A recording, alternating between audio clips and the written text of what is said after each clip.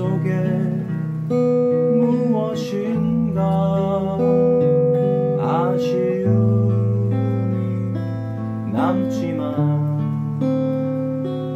불안 포기 친구 얼굴 모든 것이 새롭다. 이제 다시 시작이다 젊은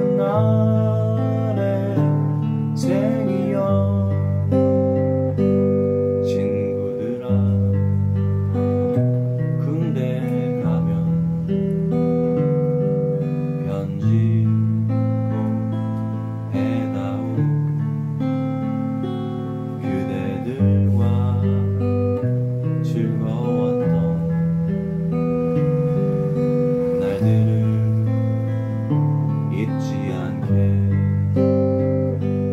열차 시간 다가올 때 두 손 잡던 뜨거운 나팔 소